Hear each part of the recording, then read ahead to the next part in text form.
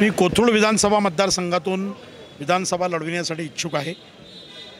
गेले पस्तीस वर्ष राष्ट्रीय स्वयंसेवक संघाचा स्वयंसेवक ते पतितपवन संघटनेचा महाराष्ट्र प्रांत संघटक आणि पक्ष संघटनेमध्ये भारतीय जनता युवा मोर्चाचा शहराध्यक्ष शहराचा सरचिटणीस शहराचा प्रवक्ता शहराचा उपाध्यक्ष अशा विविध पातळीवर पक्ष संघटना बांधणीचं काम मी मोठ्या प्रामाणिकपणाने केलं आहे.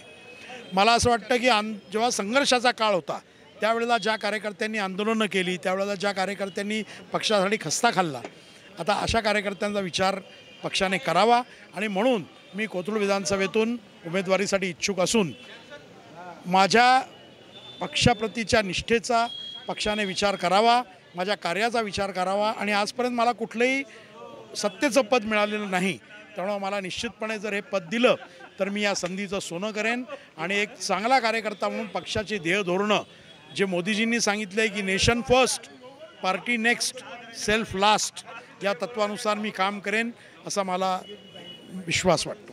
कोथरूड हे अनप्लॅन्ड डेव्हलपमेंट कोथरूडची झाली आहे आणि अनप्लॅन्ड डेव्हलपमेंट झाल्यामुळे कोथरूडमध्ये मोठ्या प्रमाणावरती रिडेव्हलपमेंटच्या समस्या आहेत. कोथरूडमध्ये आज एस आर एचे नवीन प्रकल्प झालेले नाही आहेत कोथरूडमध्ये शिवसृष्टी व्हावी यासाठी मी निश्चितपणानं प्रयत्न करणार आहे.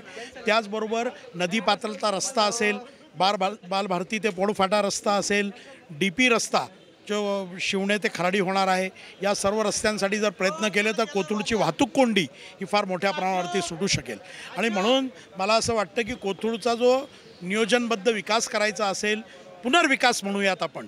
कारण कोथरूडचा जो विकास झाला ती खरं तर विकास नाही तर एक सूज आली पण ही सूच कमी करून नियोजनबद्ध पुनर्विकास जर करायचा असेल संपूर्ण कोथरूडच्या रिडेव्हलपमेंटचा जर विषय करायचा असेल तर त्यासाठी एक मोठ्या प्लॅनिंगची आणि विजनरी नेत्याची गरज आहे आणि ती भूमिका मी निश्चितपणे बजावू शकेल मला ते एक गोष्ट निश्चितपणे सांगायची आहे की कोई था जब कोई नाही था.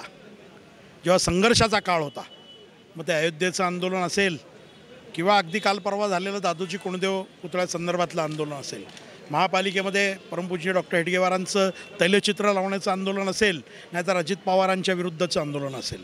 प्रत्येक विषयामध्ये आम्ही आघाडी घेतली. स्वतःच्या अंगावर केसेस घेतल्या.